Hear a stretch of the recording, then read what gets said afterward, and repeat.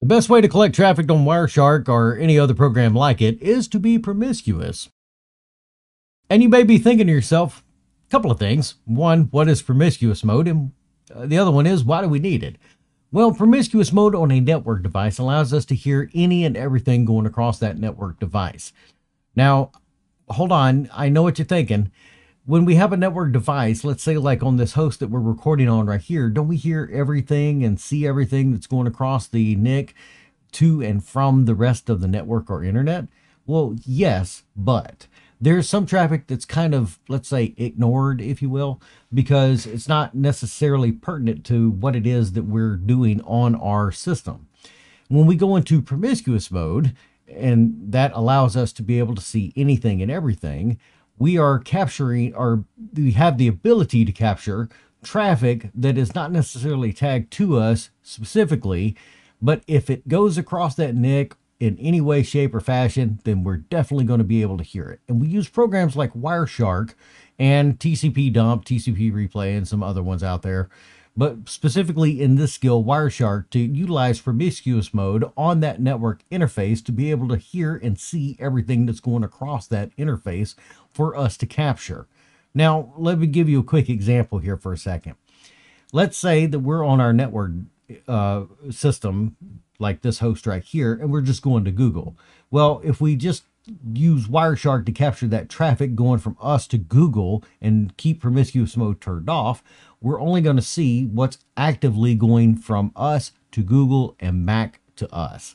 And so all that passive traffic that's going behind the scenes doesn't get picked up by Wireshark. And we could be talking about broadcast um, pings or queries or that multicast DNS that we've seen many times in the past that just doesn't get picked up. Now, is there a rhyme or reason to it? We're not going to go into that in this skill or this course. What we're just really focusing on is the promiscuous mode of it to see and make sure that we're getting everything and anything that we want on that network interface. And so in this nugget, we're going to be taking a look at the two operating system variants to really get a kind of idea of how to do that and do a little bit of comparison as well too. And the first one we're going to be taking a look at is Windows. Now, as you can see here, we have Wireshark opened up and already at the main screen, and you can see all those squiggly lines right here. Let me zoom in for you real quick. And all those squiggly lines are basically like a little heartbeat of traffic that's going across. The higher the uh, little squiggly is, the more traffic that we're actually passing back and forth. Now, at this particular moment, I'm not really doing a lot on the internet, which is why there's not really a lot of activity. But you may be wondering, well, if we're not acti- actively sending anything back and forth, what's it seeing? Well, that's some of that promiscuous stuff that's going on in the background, too. And if we go to the top left of Wireshark, let me zoom in again for you, the little gear up there, and click on that, then we can see as I move this over that we have a checkbox here right there under promisc. And if I expand that all the way, you can see where it says promiscuous. Now, that's by, def by default, that's checked whenever we select one of our interfaces. Now, we're going to go through two things real quick. We're going to make sure that we select the proper interface. And we do that by expanding the details on one and seeing what the actual IP address is. Now I'm going to select the one that's actually connected to the outside network, which is this Ethernet right here in unchecked promiscuous mode and do a start, which allows us to start picking up the capturing. Now it is running and it is picking up a lot of packets and stuff, but I'm going to let this run for about two or three minutes, come right back, and then we'll compare it to what we get when we run it in promiscuous mode. Be right back. Well, that one didn't last that long, so I just went ahead and stopped it real quick because I figured there's an easier way to do this. I can just base it on the actual timestamp, and if we zoom in, we can see that packet 884 has a timestamp of 31.99 seconds. And so that was nearly 32 seconds with 884 packets.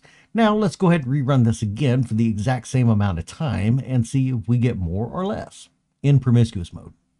Now I stopped this one just short of what our time was, but this is at 31 seconds and we have, let me zoom in for you, nearly 8,500 packets. And that is significantly more in promiscuous mode than we got just in regular, you know, non-promiscuous monitoring what's going back and forth because again we were picking up what's actively assigned to this network interface to and from whatever we're requesting and getting and in promiscuous mode you can go through and see that you're getting a lot of traffic that's being broadcasted over the rest of the network that's not necessarily identified or tagged for this uh, specific system and in the previous nugget when we were talking about uh, perimeter points and having uh, the right place on your network to put a monitor such as Wireshark here, that's where this comes into play at. Because when we have Wireshark set up on a in promiscuous mode at an access point place on the network that is a perimeter point for in and out traffic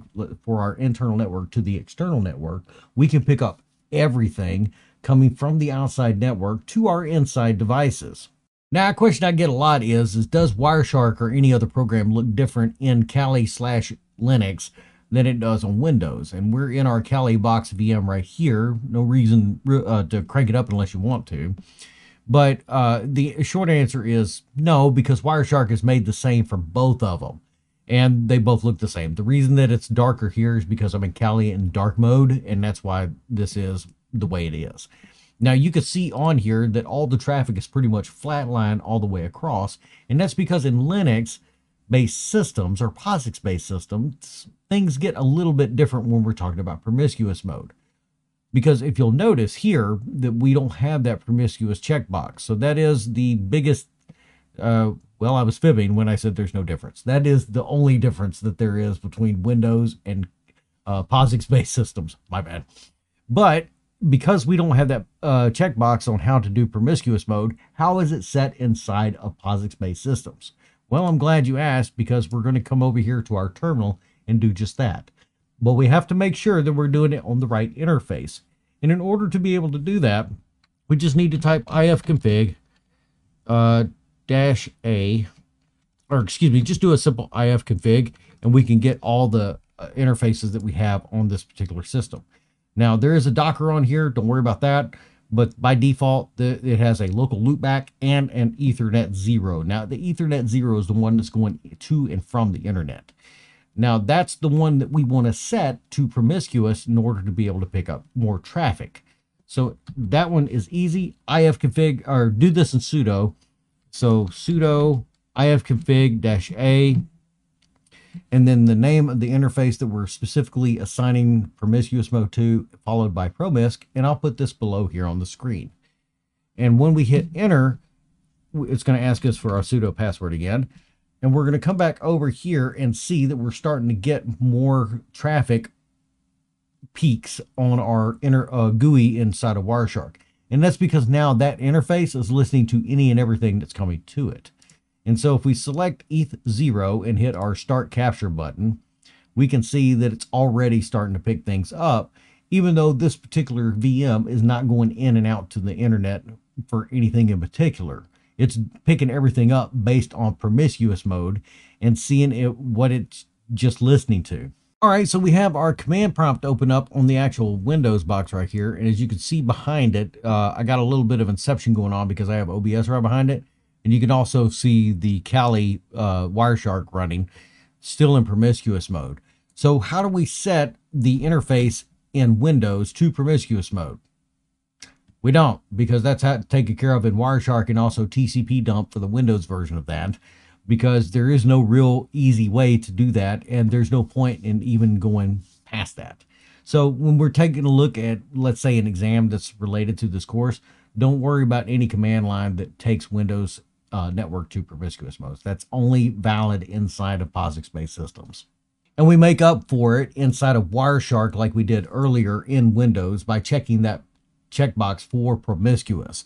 And we saw the difference between how traffic is recorded based on promiscuous and not promiscuous. So are we listening to everything or are we not listening? Are we only listening to specific things that are being sent to and from us? Think of this as uh, think of network promiscuous mode as basically taking a one of those glass cups and uh, going next to the wall and listening to your neighbors. Not that I would ever do such a thing, but the non-promiscuous mode of that would be your neighbor coming over and talking to you directly or screaming to you from next door through those paper thin walls. And then promiscuous mode would be taking the glass cup and going over to the wall and listening to everything. And you're able to hear everything inside of your room, plus whatever your neighbor is talking about on the other side of that paper thin wall.